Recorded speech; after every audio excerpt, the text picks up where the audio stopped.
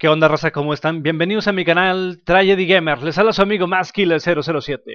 Y sí, muchos nos estamos preguntando dónde chingados está nuestro pago doble en las cajas, Rockstar. También que íbamos, cabrón, pero bueno. Este. Oh, sí, es jueves de noticias de GTA V Online y por desgracia. La bella racha que traíamos ya se fue al caño. Y de hecho, esto continúa todavía más porque ya están casi por confirmar los rumores del próximo DLC.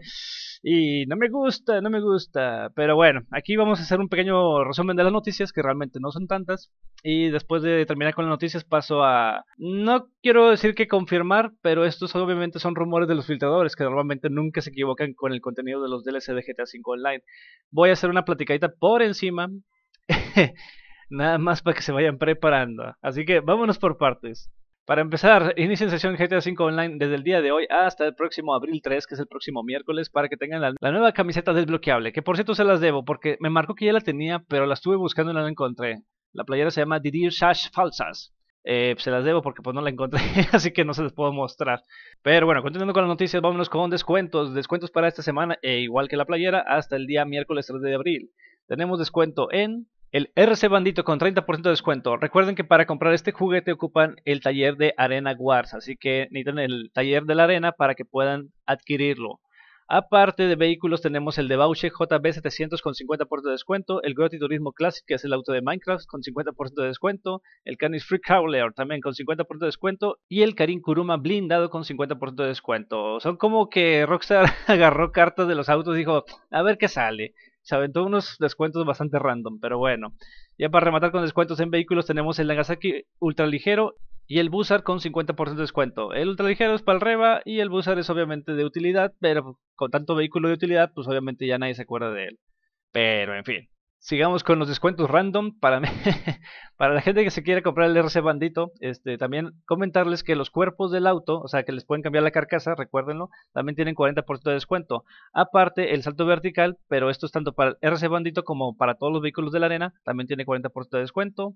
Y ya para todos en general, lo que son pinturas, turbos, cubiertas, frenos y maniobrabilidad y motores tienen 40% de descuento. Así que si no tenían el maldito juguete, pues ya se lo pueden comprar porque está a muy buen precio, tiene muy buen descuento. Y ya para rematar con descuentos, vámonos con descuentos en propiedades, que nada más tiene descuento el garage para 10 vehículos con 50% de descuento. ¿Por qué?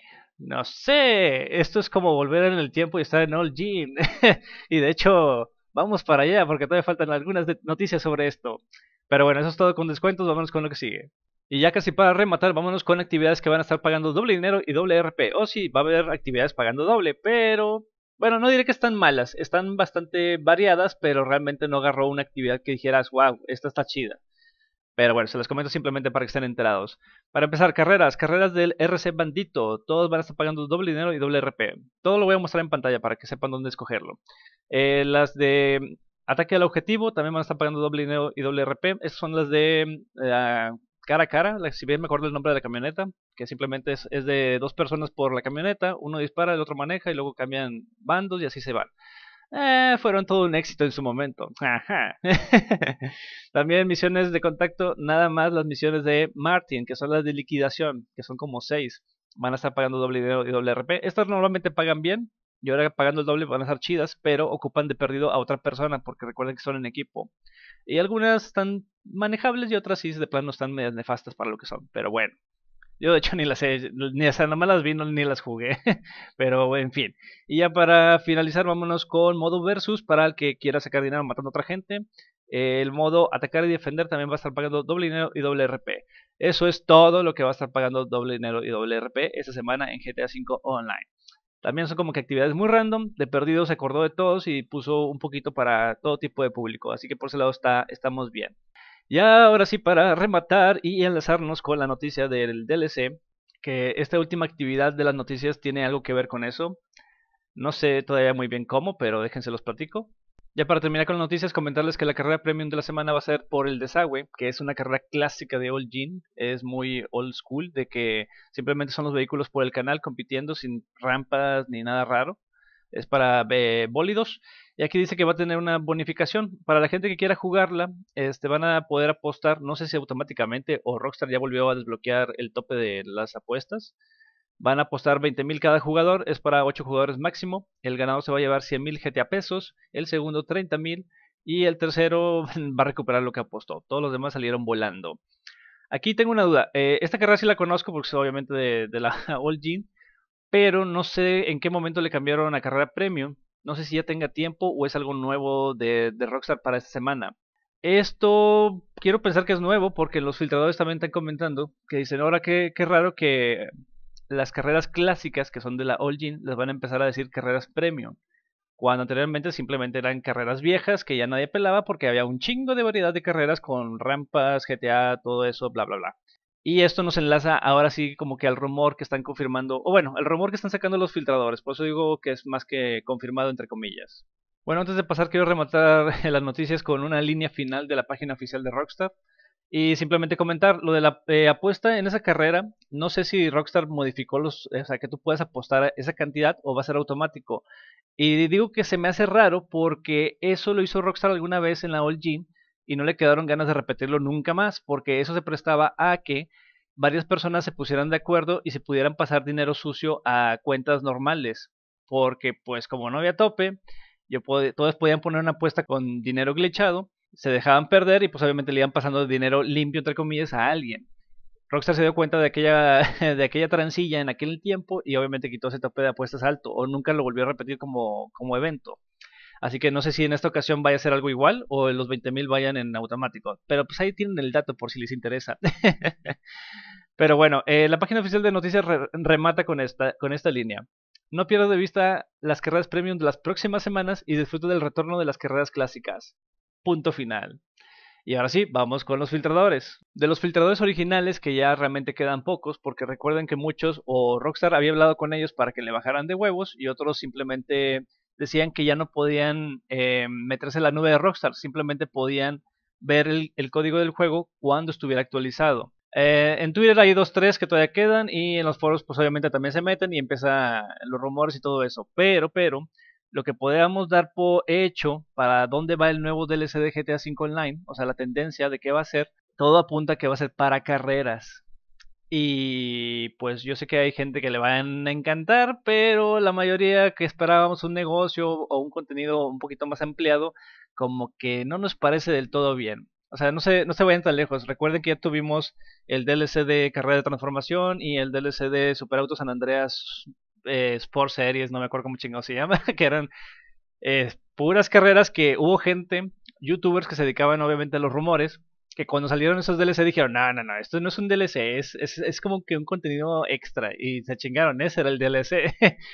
y parece, o sea, en mi experiencia con el tiempo que tengo en esto, en GTA más que nada, en YouTube, ni de pedo, me doy cuenta que a lo mejor va a ser temporada de otro DLC de carreras y dices, ay, güey, no va a ser como que de los más chingones o fuertes que, que hemos tenido, porque comparado con otros, por ejemplo, el DLC de Arena duró poco, pero fue bien hecho, estaba bien como contenido o DLC temático. Eh, por desgracia también tenía que ver con carreras y pues no pegó como debería, a comparación de otros DLC como el Bunker. El hangar estaba chido, lástima que el negocio no valió madre. Exportación, importación, o sea, DLC que a la gente le gusta más porque pues, es como que ampliar su imperio criminal. Tener otro DLC de carreras, aunque sean temáticas o de otra cosa, pero que sean carreras, sí realmente es algo muy exclusivo para cierto sector del público. Aquí parece ser que eh, las carreras premium, las anexas, tienen que ver algo con el DLC de Arena War. probablemente vayan a meter los vehículos de ese DLC en carreras, a lo mejor de otro tipo, que no sean las de arena de combate. Pero pues no pinta bien, pinta para hacer algo bastante em, olvidable en poco tiempo. Ojalá me equivoque y el tren de mame que traen en Twitter y en los foros obviamente esté incorrecto, pero es poco probable porque estos güeyes normalmente no dicen mucho, últimamente ya no dicen las cosas tal cual. Simplemente aventan como que pedrada de que, ah, va a haber nuevas carreras o es mi imaginación. Dices, no mames, es neta. Por ese lado creo que sí le van a atinar. El DLC va tendido a carreras. A lo mejor bueno, ves que no, no, no me no concibo una idea de cómo puedes pintar unas carreras que digas, güey, el pinche DLC está chingón. Tuvimos el DLC de carreras de Superauto San Andreas y el de carreras acrobáticas, perdón, ahorita me equivoqué, dije la de transformación. Las carreras de transformación eran vehículos que ya teníamos de otros DLC que luego los anexaron a un contenido extra que fue, creo que parte de otro DLC, si bien me acuerdo. Y aquí podría ser algo similar, sacas un DLC de carreras de algún tema, va a haber obviamente nuevos vehículos, pero dices, güey, ya son un chingo de vehículos y pues como que faltaba algo más, más propiedades. Que también va a haber gente que dice, ya propiedades hay un chingo. Pues sí, pero carreras y vehículos todavía hay más, todavía, es lo que sobra y meter otro DLC de carreras y que dijeras, ah, vamos a meter una variante de carrera y vamos a usar los vehículos de Arena War, pues bueno, o sea, eso te lo puedo medio pasar, pero justificar todo un DLC por carreras sí se me hace como que cabrón, porque normalmente mete mucho vehículo, se presta a lo que a Rockstar le encanta, que es, ah, van a salir 20 autos nuevos y les voy a poner 5 en la de entrada y les voy a soltar uno por semana hasta que se me ocurra otro DLC. Y se vuelven cansados y realmente esos DLCs te pasan de noche porque, ah, vamos a platicar las noticias de eventos esa semana y este vehículo salió y se chingó. Muy diferente a cuando salen DLC de negocios que dices, ah, pues a ver cómo funciona, cómo le sacas mejor rendimiento, etcétera, etcétera, etcétera. Le dan un poquito más de material. No porque uno quiera subir videos y estar hablando del tema todos los días y viendo cómo funcionan las cosas, sino porque obviamente te entretiene más. Y yo sé que los DLC de carreras a mucha gente le gustan, pero seamos francos, realmente después de una temporada es raro que te, que te vuelvas a acordar de cierto contenido en particular. La única es que las carreras estén bien chingonas, pero ya con todo lo que hemos visto en GTA, pues sí, eh, al menos yo batallo para imaginarme algo novedoso. No sé para la gente que tenga más experiencias y que sean fanática de las carreras, qué se puede imaginar o qué les gustaría ver. Pero al parecer vamos por ese, por ese lado y por esa tendencia. Va a ser un DLC de carreras y pues eso implicaría más pistas y más vehículos, nada más. Negocios es poco probable que vayamos a ver, salvo que vayan a poner alguna cosa que no esté manejada en los, en los rumores. Pero creo que si hubieran anexado algo más, ya hubieran hablado al respecto de eso. Pero bueno, como quiera, conforme pasan las semanas, Rockstar tiene que actualizar el juego en la nube y cuando lo actualiza es cuando los utilizadores ya pueden este, ver más más el contenido en forma de qué va a ser o de qué se trata, y es cuando empiezan las filtraciones al por mayor. Conforme pase eso, pues obviamente lo vamos informando aquí en el canal. Eh, espero que esté faltando algo, algo grande, pero realmente no le tengo mucha fe a este nuevo DLC que se pueda venir para GTA V Online. Me suena más como que un DLC de pasadita, nada más por cumplir con las fechas. Pero bueno, ya nos iremos dando cuenta. En fin, recuerden que si tienen dudas, comentarios, sugerencias acerca del contenido del video o del canal en general, utilicen la caja de comentarios. Inclusive utilicen la... si se quieren subir al tren del mame y qué opinan de esto de si el DLC va a ser de carreras, que es casi un hecho. Todavía falta nada más eh, asegurarlo, pero es poco probable que vaya a haber cambios respecto a ese tema. Si quieren compartir sus esperanzas o sus quejas, obviamente los leo y ahí nos ponemos a platicar en la verdad posible. Por mi parte es todo. Recuerden que los su amigo Maskiller007 y nos vemos en el siguiente video. Que tengan un excelente día. Chao, chao.